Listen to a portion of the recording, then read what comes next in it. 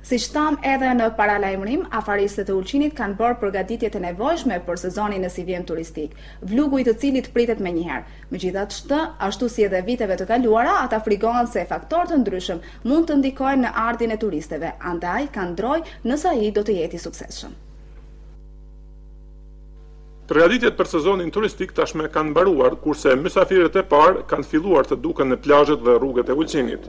Por, ky fillim i vonuar i sezonit për shkak të motit me shi, pritet me një dozë dyshimi nëse do të jetë i suksesshëm. Si çdo sezon turistike që fillon vonë në Ulqin, ajo është bâ një adet, si thonë na, i ri në Ulqin që sezona të fillojë vonë dhe të zgjasë shumë pak. Ashtu që sot jemi me tetë të mujit të gjashtë dhe kemi shumë pak turista në Ulqin dhe nuk ka shumë prenotime që së shpejti do të vinë turistat dhe mendoj se në fund të mujit do të filloj një fluks dhe do të bahet një sasi e popullit e cila do të vijë në Ulqin, por nuk presim shumë më tepër se vjet. Veç Në hotele janë mysafirët e parë, të cilët kanë arrit.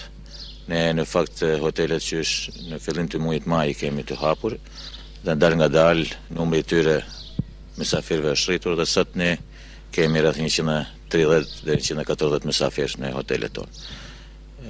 Ne një valë ma të madhe të turistëve, të cilët shumica do të vinë tani prej vendeve të jashtme vijnë diku prej pesëmbëdhjetë qershorit dhe mendoj që deri te ka fundi i qershorit ne do të kemi një mbushje të konsiderueshme dhe të mirë të hoteleve tona. Sot në Ulqin ka katërqind e pesëdhjetë e katër turistë të huaj të regjistruar, kurse një valë më e madhe e tyre pritet këto ditë.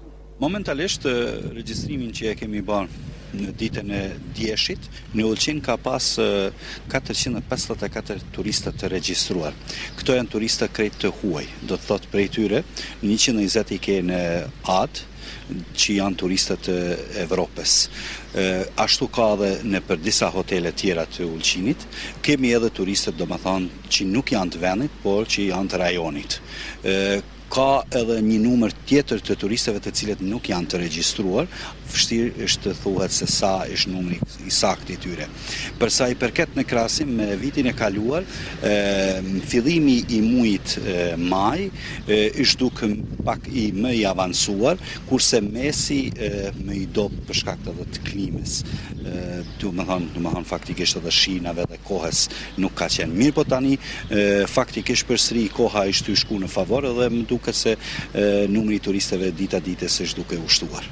Riviera e Ulqinit si bartëse e dikurshme e turizmit në këtë komunë, cilësinë e ofertës së sivjetme e ka ngritur në një nivel më të lartë.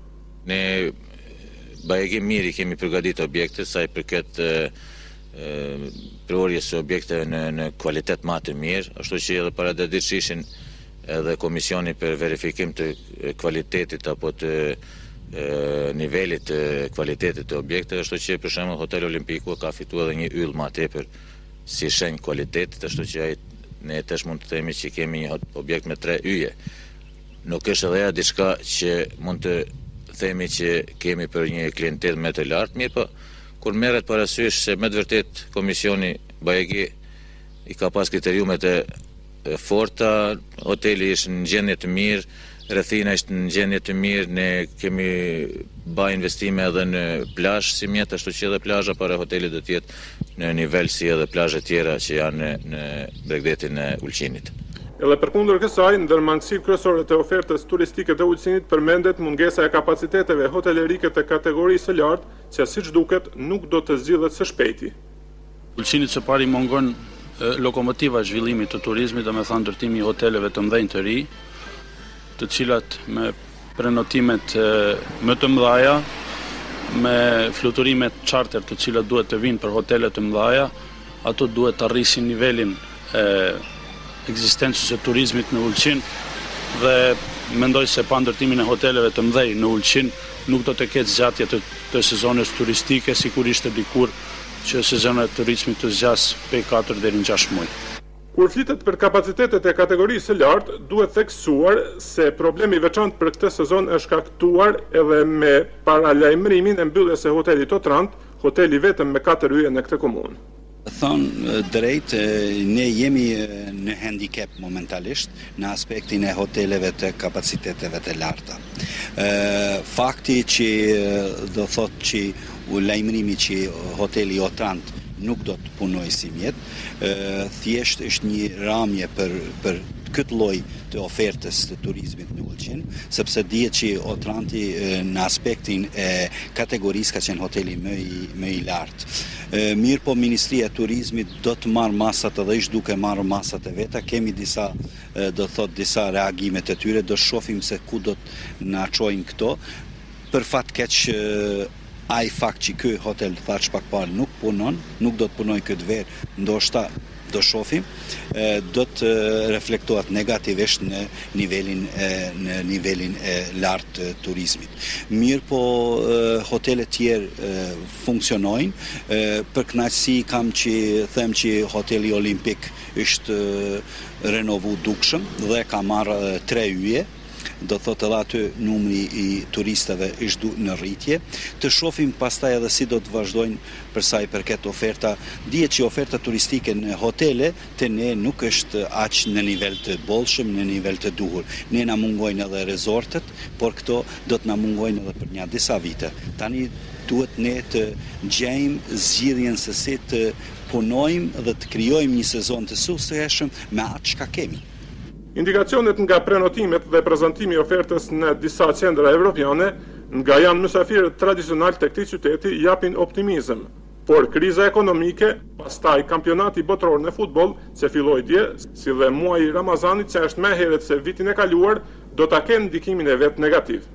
Ne kemi kontrata, kemi kontrata me turoperatorë të cilët i kemi bë, dhe natyrisht në biseda me to dhe në gjendje të shitjes të cilin ato deri tani e kanë e kanë ba, ne shpresojmë që do të kemi një rritje të numrit të vizitorëve nga këto vende sepse prej disa agjencive kryesore me të cilat kemi kontrata si përket agjencive nga Gjermania dhe Çekia, Rusia, ne veç kemi konfirmime që kemi shitje ma të mirë se vjet. Duke marrë parasysh prezantimin nëpër këto qendra që i thatë ju, do të thotë ne mund të jemi optimistë në sezon.